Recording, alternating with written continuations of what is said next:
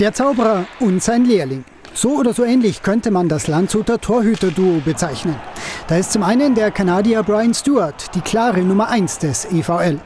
Mit einem Gegentorschnitt von 2,79 zwar nur im Mittelfeld der DL2 platziert, aber trotzdem der ganz große Rückhalt der Landshuter.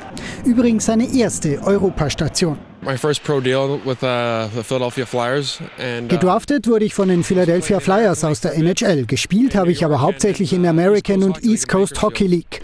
Und letztes Jahr habe ich mich dann zum Schritt nach Landshut entschlossen. Eine gute Entscheidung, auch wenn der 28-Jährige zuletzt manchmal etwas überspielt wirkte. Zudem war er leicht verletzt. Deshalb durfte des Öfteren der Kronprinz ran, der 19-jährige Marco Eisenhut. Ja, ist natürlich super, wenn man das Vertrauen kriegt und dann eben als junger Torhüter dann solche Spiele machen kann. Und es hat mich an Erfahrung reicher gemacht. Es war ein super, super Gefühl. Ja. Gefördert hat ihn vor allem der scheidende Trainer Jirschi Ehrenberger, der ja ab Samstag als Sportdirektor nach Ingolstadt geht.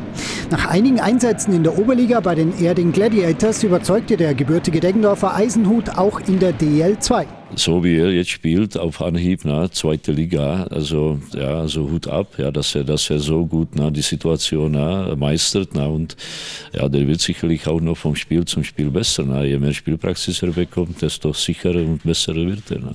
Liegt auch und vor allem an Kumpel Brian Stewart. Die beiden fanden sich von Beginn an sympathisch, sind mittlerweile gute Freunde. Und beide profitieren auch voneinander. Ja, einiges. Ich habe mir schon einiges von ihm abgeschaut im Training, weil er doch durch seine Größe einige Sachen anders macht. Ein paar Sachen kann ich zwar nicht so machen, weil ich ein bisschen kleiner bin, aber es gibt schon bisschen was, was man abschauen kann.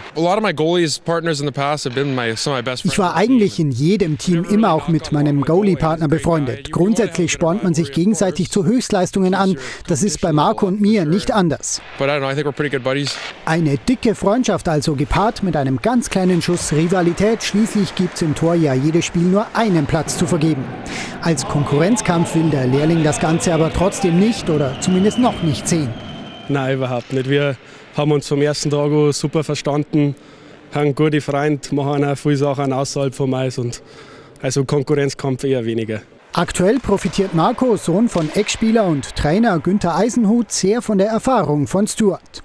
Aber er hat selbst schon angesprochen, Stuarts Stil zu kopieren ist aufgrund des Größenunterschieds nicht möglich. Uh, ich hoffe schon, dass ich ihm ein paar Dinge beibringen konnte, aber jeder muss auch seinen eigenen Stil entwickeln. Aber Marco ist da auf einem guten Weg. Das sieht auch Ehrenberger so. Landshut ist ja überhaupt in den letzten Jahren ein hervorragendes Pflaster für deutsche Goalies. Vielleicht kann Eisenhut diese Tradition ja fortsetzen. Wenn ich an Timo Pillmeier oder an den Sebastian Vogel denke, na, die haben ja als äh, deutsche, hochtalentierte Torleute, die zurückgeben, auch zum Beispiel aus der DL oder aus Nordamerika gekommen sind, die haben 60, 70 Spiele hier in der zweiten Liga na, äh, dann ja, gespielt und äh, dann eben den Sprung in die, in die DL. Und wenn ich jetzt sehe, wie die in der DL aussehen, der Sebastian Vogel oder der Timo, die gehören zu den besten vier, fünf deutschen Torhütern, die überhaupt auf dem, ja, in der Liga sind. Und ja, so, das ist eben Landshut. Ne? Das ist auch Verdienst von Landshut. Ne? Noch wäre ein Vergleich mit diesen beiden aber viel zu früh und wäre auch viel zu viel Druck für ihn. Talent hat Eisenhut aber auf alle Fälle. Jetzt geht es darum, ihn behutsam zu einem Nummer 1 Goalie in der DL2 aufzubauen und auch beruflich will er die Weichen für die Zukunft stellen.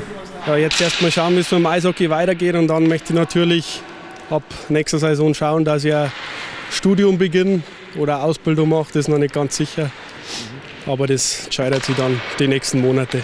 Jetzt gilt aber erstmal die volle Konzentration dem Sportlichen. Und da ist das Ziel klar. Uh, Natürlich wollen wir am Ende Meister werden. That's our, our main goal.